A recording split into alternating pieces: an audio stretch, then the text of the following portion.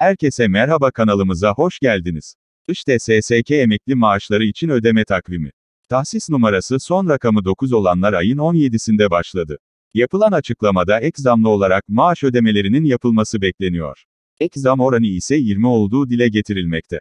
Ek zam anlamayanlara far olarak 2 haftalık sürede ödenmesi beklenmekte. Tahsis numarası son rakamı 7 olanlar ayın 18'inde aldı. Tahsis numarası son rakamı 5 olanlar ayın 19'unda aldı.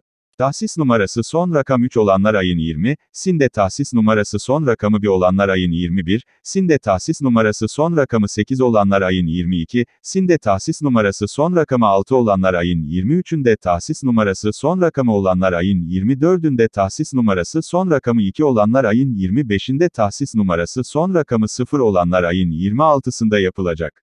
Tahsis numarası son rakamı 97,5 olanlar ayın 25'inde tahsis numarası son rakamı 3,1 olanlar ayın 26'sında tahsis numarası son rakamı 86,4 olanlar ayın 27'sinde tahsis numarası son rakamı 2,0 olanlar ayın 28'inde yapılacak.